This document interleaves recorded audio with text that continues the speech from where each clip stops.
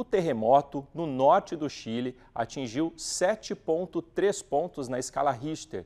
Isso é considerado um tremor de grandes proporções. E esse abalo foi sentido aqui na nossa região.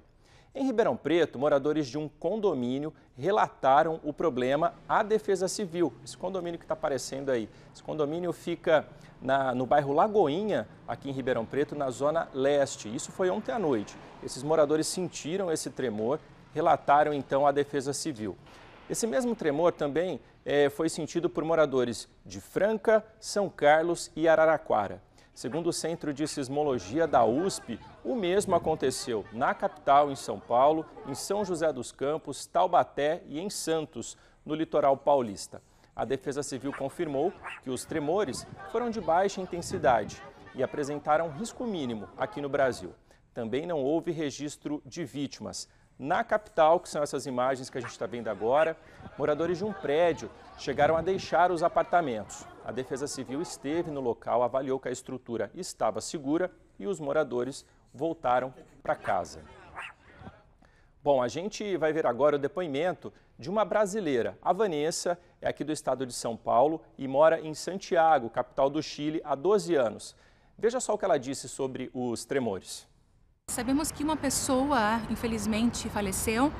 Foi uma intensidade 7.3, então uh, muito forte, porém para o chileno que já está acostumado com esse tipo de tremores, uh, há uma sensação de tranquilidade em geral, Aqui em Santiago nós não sentimos nada também. Uh, para o povo chileno que está acostumado com tremores constantes, terremotos de altas magnitudes, uh, sempre há muita tranquilidade. Mas para nós, brasileiros e comunidades estrangeiras em geral, sempre qualquer, qualquer tremorzinho, uh, estamos sempre muito preocupados e angustiados. Mas em geral, o país está bem preparado, estruturado para suportar terremotos de altas magnitudes.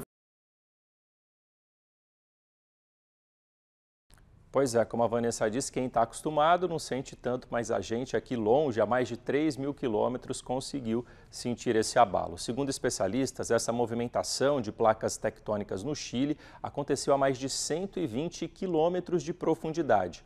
O local fica próximo à fronteira né, com a Argentina e com a Bolívia, e na mesma linha horizontal de São Paulo. Por isso, o impacto foi sentido aqui no nosso estado. Nós conversamos com o geólogo Alessandro Batezelli, professor da Unicamp, que explicou como é que esse fenômeno natural acontece. Os terremotos eles são fenômenos geológicos bastante naturais e comuns é, ao longo de toda a evolução do nosso planeta né?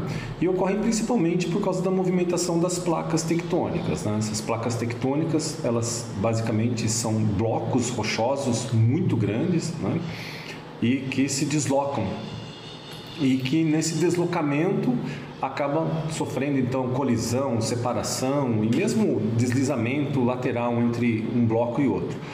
E durante esse processo, né, principalmente nas regiões onde esses blocos tectônicos, essas placas tectônicas, elas colidem, é, ocorre um acúmulo de tensão muito grande. E é, esse, quando esse, essa tensão ela ultrapassa, né, é, é, a resistência da rocha, ela acaba então fraturando a rocha e liberando uma grande quantidade de energia que se propaga na forma de ondas, que são os terremotos.